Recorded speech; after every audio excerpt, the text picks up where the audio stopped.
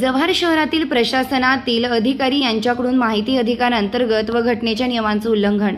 जव्हार नगर परिषद जव्हार या ठिकाणी गेल्या दोन ते तीन वर्षापासून माहिती अधिकार अधिनियम कायदा दोन हजार पाच अंतर्गत माहिती घेण्याकरिता अर्ज करत असताना देखील नगर परिषदेतील कुठल्याही विभागाकडून माहिती मिळत नाही.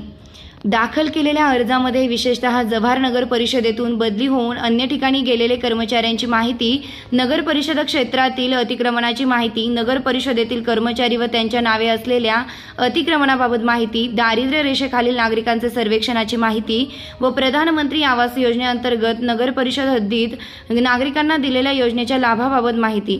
अशा सर्व विषयांचं विविध प्रकारचे अर्ज नगर परिषदेमध्ये वारंवार माहितीच्या अधिकार अधिनियम दोन हजार पाच कायद्याअंतर्गत अर्ज करूनही नगर परिषदेतून खोटी माहिती देण्यात येते व कुठल्याही प्रकारची दखल न घेता या कायद्याचं उल्लंघन होत आहे. तसेच या ठिकाणी भारतीय संविधानाचा अपमान होताना दिसत आहे. दरम्यान आज रोजी अठ्ठावीस सप्टेंबर दोन हजार बावीस रोजी सर्व अर्जाच्या स्मरणपत्र नवनिर्वाचित मुख्याधिकारी मानिनी कांबळे मॅडम यांना दिलाय. तसेच मुख्याधिकारी यांनी ग्रामपंचायत निवडणूक झाल्यानंतर तात्काळ याकडे लक्ष देऊन माहिती पुरवण्यात येईल असं आश्वासन दिलं. आता येणाऱ्या काळात याची दखल मुख्याधिकारी यांच्याकडून घेतली जाते की नाही. या विषयाची चर्चा जव्हार नगर परिषदेमध्ये माहितीच्या अधिकाराखाली अर्ज करून आपला हक्क मागणारे त्रस्त नागरिक करत आहेत. आज या ठिकाणी जव्हार नगर परिषदेमध्ये मुख्याधिकारी मानिनी कांबळे मॅडम यांच्याकडे आम्ही एक स्मरणपत्र घेऊन आलेलो आहोत. स्मरणपत्र आम्ही मुख्याधिकारी मॅडम यांना दिलेलं आहे. आता या स्मरणपत्र पत्राबद्दल एक दोन शब्द मॅडम आपल्याला बोलणार आहेत.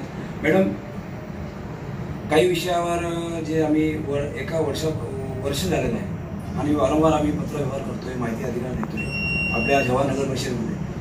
तर त्याची आम्हाला जी आवश्यकता आहे ती माहिती आम्हाला मिळाली नाही. आम्ही एक स्मरणपत्र सगळं तयार करून आपल्याकडे दिलेलं आहे मॅडम याची दखल आपण कशी घ्या त्या त्याच्यावर एक दोन शब्द बोला.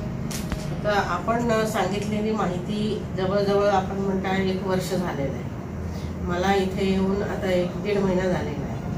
तर मी माझ्या परीने तुम्हाला जी माहिती पाहिजे ती माहिती मी देईनच. पण सध्या ग्रामपंचायत इलेक्शन सुरू आहे. आणि त्या ग्रामपंचायतीच्या इलेक्शनसाठी नगरपालिकेचा संपूर्ण स्टाफ तिकडे गेलेला असल्यामुळे तुम्ही जर मला म्हणत असाल लगेचच माहिती मला द्या तर मी ती देऊ शकणार नाही. तर जोवर ग्रामपंचायतीची इलेक्शन संपत नाहीये तोपर्यंत मी नाही देऊ शकत. पण ती संपल्यानंतर तुम्हाला निश्चित मी माहिती देईन. जी हवी. धन्यवाद मॅडम.